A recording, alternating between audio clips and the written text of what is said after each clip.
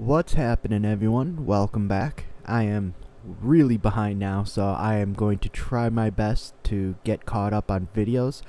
But in the meantime, here's the workout I did on March 15th, so yesterday, and it was a bench and T-bar row day. So basically what I did was I got to the gym a little bit later than I was anticipating. I was hoping to get there a little sooner, but I made it there nonetheless in the morning and I began with a cardio warm-up on the cross ramp which took 3 minutes and 38 seconds and the reason for that is just simply because I went for 3 tenths of a mile. I went past the quarter mile mark and I just figured I'll do a little bit more and that's really all I needed. I didn't have any reason to go to a half mile. Quarter mile I felt fine, it's just that I just kept going for just a little bit longer so that's why I extended it to three tenths of a mile. From there, I went over to the incline bench and started warming up. I did a set of 10 with 135, set of 8 with 185, and here's the 10 by 3 with 210. So 210 pounds, 90 seconds of rest in between sets, and pretty good day. Now, something you will notice is I will be putting some very long pauses on the chest some exceedingly long and ridiculously long pauses on the chest. And that comes down to a couple things. One, I'm going to be resetting and going back to sets of five with a slightly lighter weight, and I just want to be a little bit better prepared for it.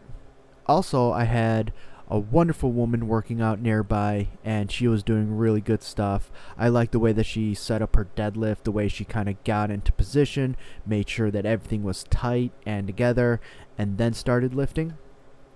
My only concern is that she was bouncing the deadlifts and there's a time and place for that. For most people, the first thing you really should be concentrating on when deadlifting is resetting after every rep. So coming from a completely dead stop at the bottom and then eventually once you build your foundation and you're starting to get through plateaus or just looking for a different type of training stimulus using the deadlift there's a technique to that. So the touch and goes things like that. There's a time and place and there's a way to do it correctly and to the point where you'll actually benefit from it.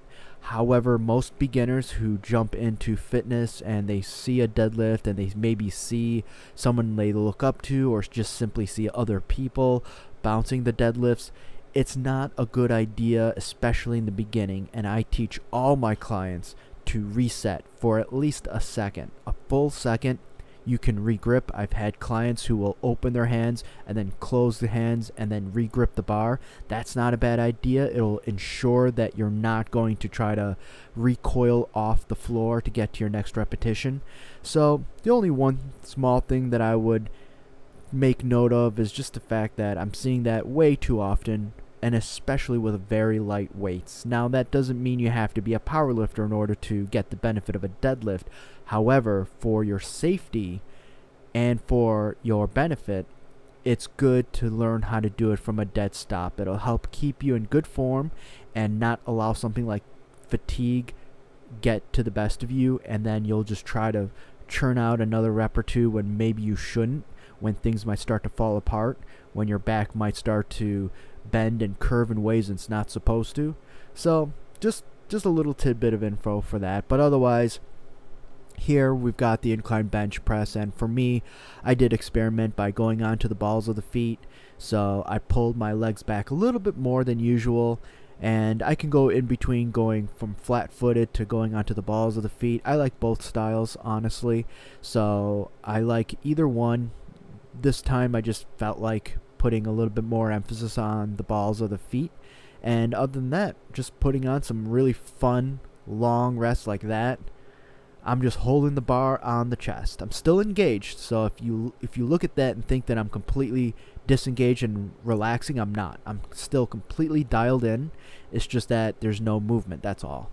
And so it was just for fun. I was a little bit motivated, and so and it also will prepare me for the future leg of training, which will be, which will start to get difficult when I reset back to sets of five.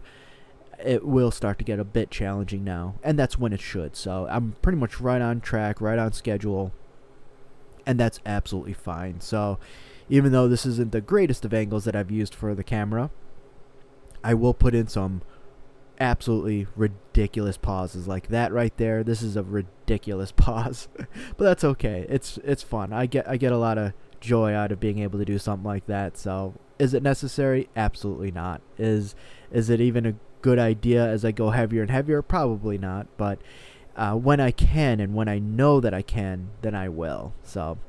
That's for incline bench. And for the accessory, I went to a flat bench. So flat barbell bench press, just regular style, nothing fancy, nothing special. I did a warm up set of 8 with 135, and then I did progressive sets. That being said, I wasn't planning on doing progressive sets. The idea was just to stay at 185 for the 3x8. However, a gym crush showed up. The main gym crush showed up. So, of course, that flipped the switch and said, no, no, no, no, no, you are going to push it a little bit. So get ready. It's happening. so she totally, totally inspired me to do that. She uh, made her place right across from me. A couple glances back and forth. And yeah, I did the first set with 185 for 8. And even though my plan was to stay at 185 for straight sets, I just thought, no, she's here, she's watching, I better not do that. So I went to 195 for 8 and then topped it off with 205 for 8. And honestly, that was perfect. That was absolutely where I wanted to be in terms of rate of perceived exertion. No worries at all with bar slowing down or bar path or anything like that. So everything was good. It just started to get challenging towards the end, which is which is right where I want to be. So big thank you to her for that. All right, T-bar row. So for the T-bar row, I went with a set of 10 with 95 to warm up, then a set of 8 with 120, and here we've got the 10 by 3 with 157 and a half pounds, 90 seconds of rest in between sets, and it was a good row day.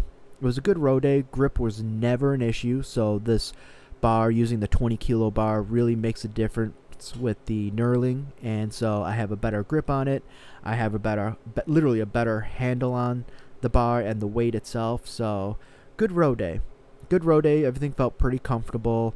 Nothing felt off nothing felt off centered or anything like that so I'm pretty happy with it and I'm very curious to see where I top off with this lift. So when I get to the point where I peak I'm just curious. I'm not aiming for any specific numbers. I just want to know where I end up so that way when I program in the future, I'll have a really good sense of where to begin and what's appropriate for different reps, different sets, different volume.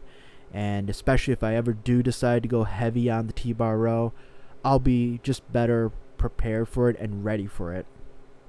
But all in all, good day for both main lifts and part of that will come down to the motivation at the gym, but also just it was just a good day. Uh, for incline bench, I really want to get into comfortable sets of 225 and above like it, I used to.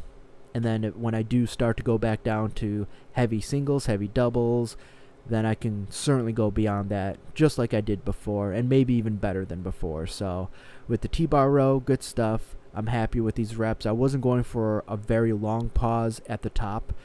You will see some. You'll see some stoppages for sure and some slight pauses, but nothing out of the ordinary.